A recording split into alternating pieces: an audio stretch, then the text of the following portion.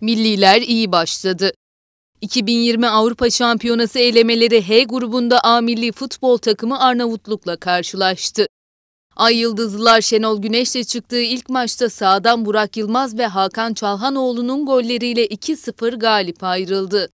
Kırmızı Beyazlar gruptaki diğer maçta pazartesi günü Eskişehir'de Moldova ile mücadele edecek.